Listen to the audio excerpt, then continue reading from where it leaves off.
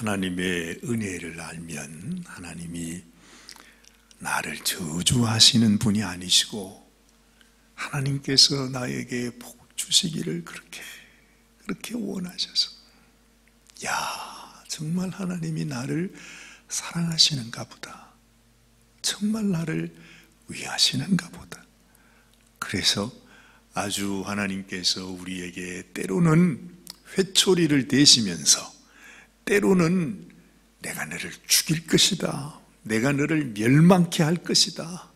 내가 너의 원수들로 너희들을 다 그냥 멸망케 할 것이다. 이렇게 협박까지 하시면서 하나님께서 우리에게 하시는 말씀은 네가 내가 너희에게 주는 이 말씀을 꼭 순종해라. 그래서 내가 너희를 위하여 예비한 이 모든 복을 받는 자가 되거라. 이게 하나님의 진심이었습니다. 어제 말씀 그것이 아닙니까? 하나님께서 우리가 하나님의 말씀을 불순종해서 멸망받는 그 순간까지도 하나님의 마음은 하나님의 우리를 향한 하나님의 생각은 우리에게 환란을 주시고 우리를 저주하시고 우리를 고통스럽게 하는 것이 아니라 하나님의 생각은 우리를 향한 장래의 소망을 주시고 축복을 주시는 것이 하나님의 마음이요 하나님의 뜻이라는 것입니다.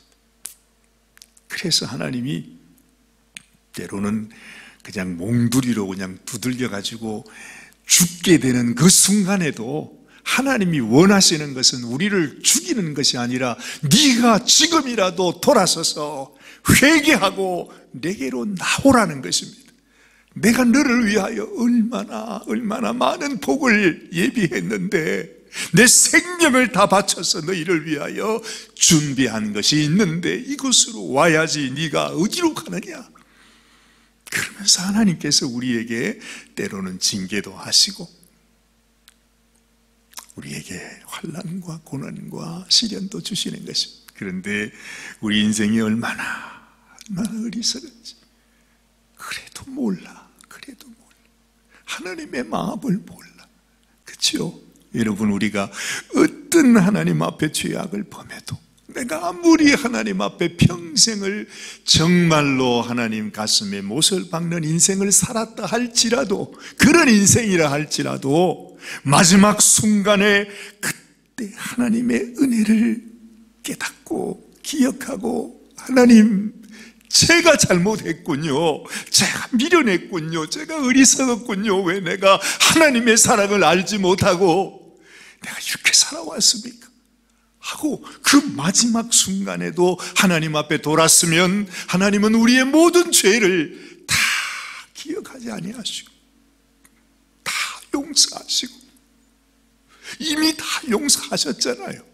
그게 하나님의 마음이라는 겁니다. 그러니 우리를 향하신 하나님의 마음, 하나님의 사랑, 우리를 복 주시고 하시는 하나님의 마음이 얼마나 얼마나 간절하냐.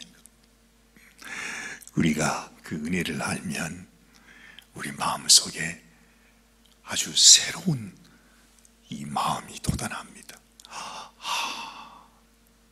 저도요, 정말 철없고 어릴 때였지만, 제가 예수님을 처음 알았을 때, 그때가 제 고등학교 3학년 때였습니다.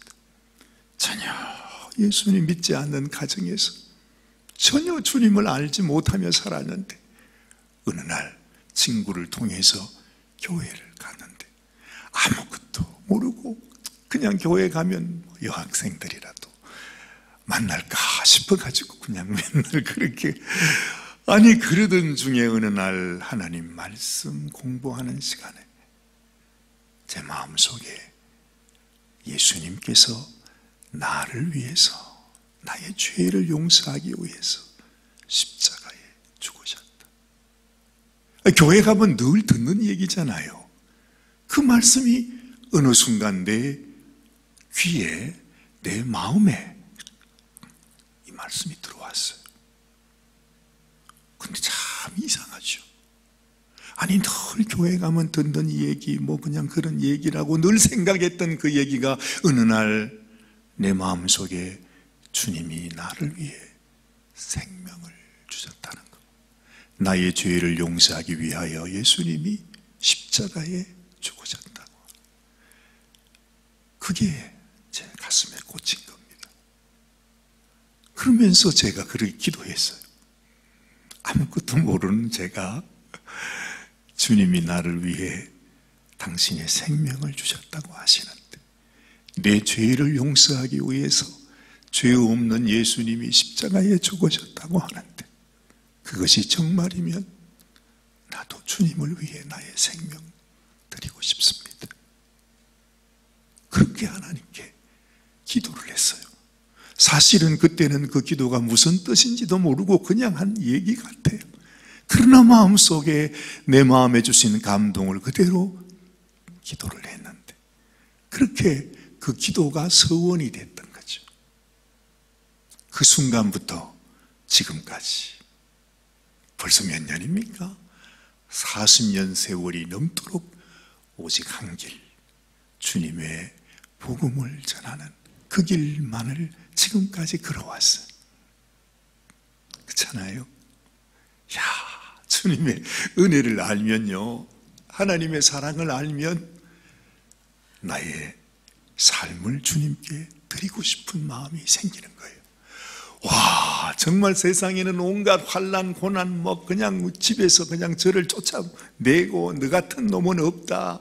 어, 네, 이름을 호적에서 파낸다. 그리고 쪽 칠지로 쫓겨나서 몇 년 동안을 혼자 살아야 했는데 도대체 왜? 도대체 뭔지 내 마음 속에 주님이 주시는 그 기쁨, 감사. 나도 이제는 주님을 위해서 고난을 받는구나 하는 생각 때문에 그런 마음을 가지니까 세상에 그런 어려움 속에 있는데 하나님께서 먹는 거, 입는 거, 자는 거 모든 것들을 하나님이 공급해서 지금까지 살아왔다는 거 아닙니까? 참 정말 하나님의 그 은혜가 우리는 정말 청량할 길이 없습니다. 하나님의 눈으로 항상 우리의 인생을 바라보는 것이 너무 소중한 거예요. 누구나 하나님의 그 은혜와 사랑, 하나님은 나를 축복해 주시는 하나님이시다. 생명을 다해서 나를 복주시기를 원하시는 하나님이심을 깨닫게 되면, 알게 되면, 어느 누구든지 우리는 하나님께 나의 삶을 드리고 싶어요. 그렇죠? 우리 이스라엘 백성들도 그러했습니다. 여러분 하나님께서 애굽 땅에서 그들을 출애굽시켜서 그 광야 고생길이었지만은 그들에게 하나님의 임재가 함께 하시고 하나님이 우리와 함께 하시는구나 하나님이 우리에게 말씀을 주시는구나. 정말 이 광야 생활 가운데 그 고난과 시련 속에 수많은 사람이 원망하고 불평도 많이 했지만 그러나 그 중에는 하나님께서 나를 구원하시고 하나님이 지금도 우리와 함께 하시는구나 하고 믿음으로 살아가는 그 백성들이 있었다는 그런데 그들이 하나님을 위해 살고 싶은데 자기는 레위 족속이 아니라 하나님의 성전, 하나님의 성막에서 정말로 주님을 위해서 일하고 싶은데 그건 레위 족속에게만 허락된 일이잖아요. 그렇잖아요? 이 대제사장이나 이 성막을 섬기는 이 주의 일을 하는 백성들. 그러면 다른 백성들은 마음이 어떻겠어요? 그 중에는 나도 좀 하고 싶은데 나도 하나님 위해서 뭔가를 좀 더 해드리고 싶은데 할 수 있는 길이 없잖아요 그렇죠? 그럴 때 하나님께서 네가 참 네가 하나님의 백성이라고 생각하고 정말로 하나님을 위해서 네 삶, 네 몸을 드리고 싶거든 너는 할 수 없지만 이렇게 해라 하고 주신 말씀이 바로 오늘 이 레비기 27장의 말씀이에요. 하나님이 값을 정해줬어요. 참 재미있죠. 오늘 이 말씀을 읽으면서 저도 속으로 많이 웃었습니다. 2절 말씀 보십시다. 이스라엘 자손에게 말하여 이르라. 만일 어떤 사람이 사람의 값을 여호와께 드리기로 분명히 서원하였으면 너는 그 값을 정할지니 그러면서 이 사람마다 값을 정해 주세요.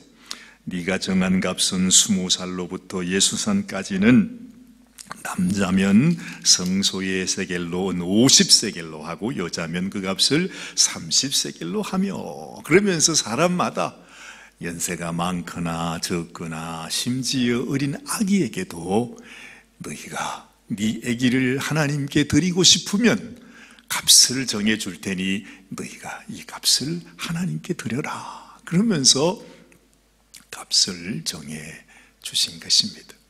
그런데 그 값도 만약에 너희가 형편이 되지 않으면 제사장에로 가서 나는 가진 것은 없지만 하나님을 위해서 뭔가 좀 드리고 싶습니다. 그러면 그 제사장이 그의 형편에 따라서 드릴 수 있도록. 참, 여러분.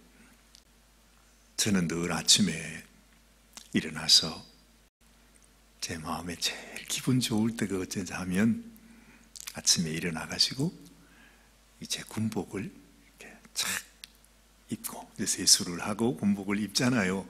그러면서 거울 앞에 딱 설 때 그때가 제일 기분이 좋아요. 왜 그러냐 하면 주님 오늘도 나는 주님의 것입니다. 오늘의 삶도 주님 영광을 위해 살아가는 또 한 번의 하나님 주신 기회입니다. 그러면서 이 웃도리를 이렇게 탁 입는단 말이에요. 입고 주님 오늘도 시작하겠습니다. 얼마나 기쁜지 몰라요. 여러분 우리도 우리 인생이 하나님의 소유입니다. 나는 나의 것이 아니라 하나님의 것입니다. 하고 믿어지고 고백이 되고 그렇게 살아갈 때 그보다 더 기쁨이 없습니다. 그렇지 않겠어요? 우리 인생이요, 이 세상에서 이렇게 살아가면 다 이 세상 사람과 다를 바가 없어요. 똑같은 죄인이에요. 그런데 내가 이 예배의 자리에, 기도의 자리에 와서 하나님, 나는 당신의 소유입니다. 나는 당신의 종입니다. 나를 받아 주옵소서. 이럴 때 여러분 예배당 밖에 있을 때하고 예배당 안에 있을 때 값어치가 그냥 쫙 올라가는 것입니다. 이 세상 살 때는 그냥 아무것도 아닌 것 같지만은 하나님 앞에 와서 내가 하나님의 품에 안길 때 하나님이 어서 오너라 하고 우리 손을 잡아서 나를 이렇게 자기에게 이끌 때 우리의 가치는 이 세상의 그 어떤 존재, 어떤 사람보다도 더 보배롭고 존귀한 자녀가 된다는 거죠. 그래서 사실은 이 레위기 말씀 가운데서도 하나님께서 우리에게 주시는 말씀 중에서 내가 너희를 부르신, 내가 너희를 부른 것은 너를 나의 소유 삼기 위함이다. 그렇게 말씀하세요. 우리 주님도 그러잖아요. 너는 내 안에 거해라. 너희는 세상에 속한 자가 아니다. 이 세상 마귀에 속한 자가 아니야. 너의 목자는 나다. 너는 나의 양이야. 너는 나의 백성이다. 하나님은 끊임없이 그렇게 말씀하세요. 이 레위기에서 하나님께서 우리에게 주시는 말씀도 사실은 그 말씀이에요. 한번 찾아보실래요? 레위기 20장 한번 뒤돌아가 보세요. 우리가 잊어버렸던 말씀을 다시 한번 생각하면서 아, 하나님께서 이래서 나를 부르신 것이구나. 자, 레위기 20장 26절 말씀 우리 같이 한번 읽습니다. 같이 읽습니다. 너희는 나에게 거룩할지어다.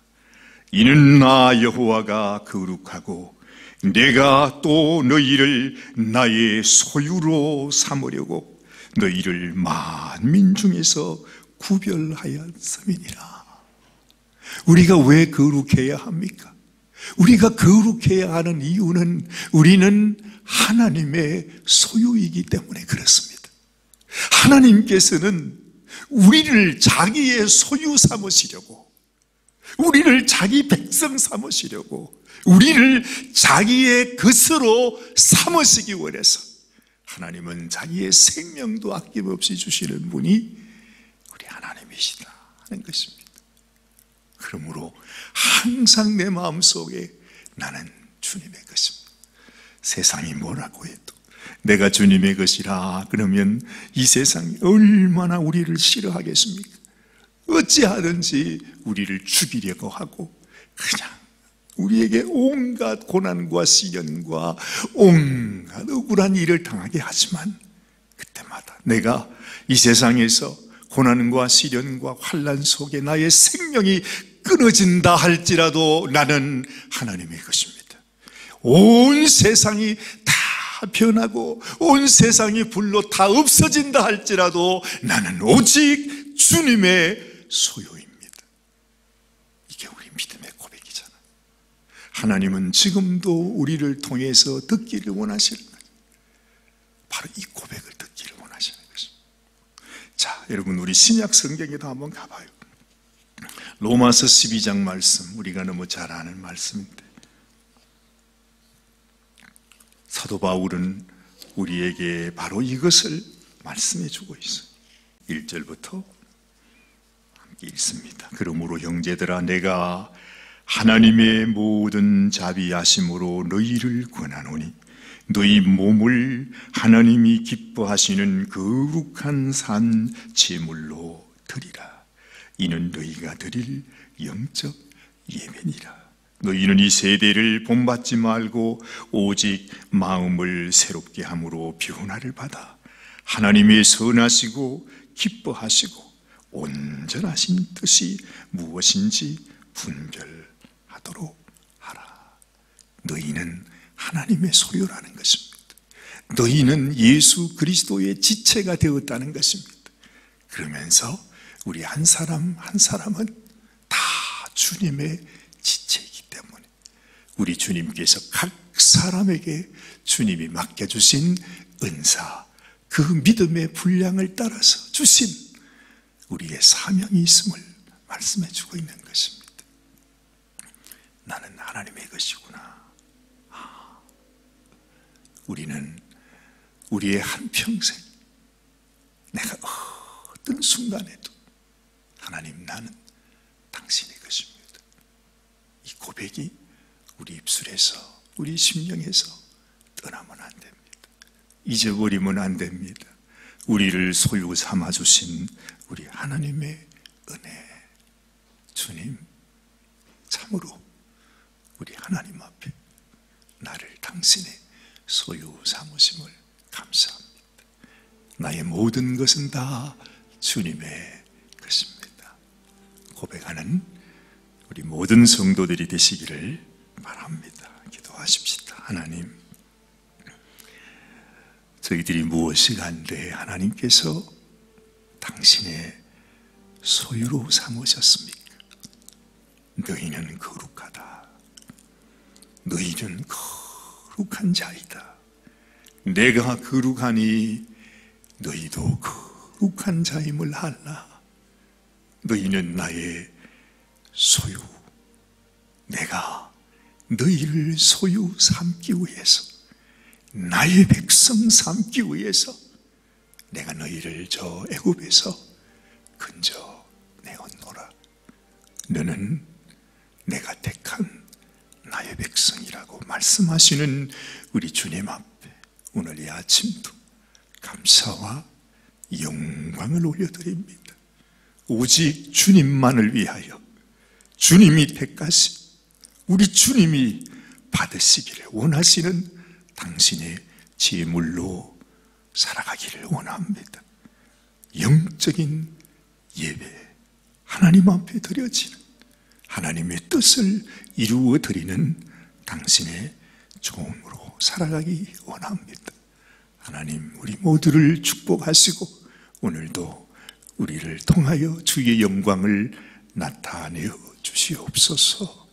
우리 주님, 예수님의 귀하신 이름 받들어 간절히 축복하며 기도드리옵나이다. 아멘, 아멘.